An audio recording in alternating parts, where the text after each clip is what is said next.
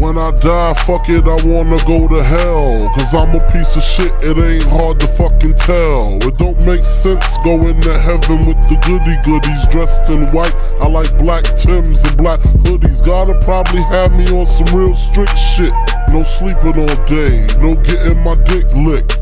Hanging with the goody goodies, lounging in paradise. Fuck that shit. I wanna tote guns and shoot dice. All my life I've been considered as the worst. Lying to my mother, even stealing out a purse.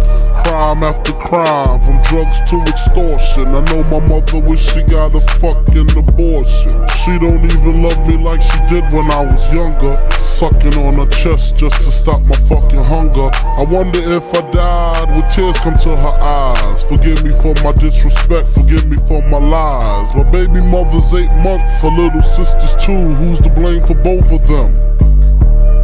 I swear to God, I wanna just slip my wrists and end this bullshit. Throw the magnum till my head threaten to bullshit and squeeze until the bed's completely red. I'm glad I'm dead, a worthless fucking Buddha head. The stress is building up, I can't, I can't believe suicide's on my fucking mind. I wanna leave, I swear to God, I feel like death is fucking calling me. But nah, you wouldn't understand.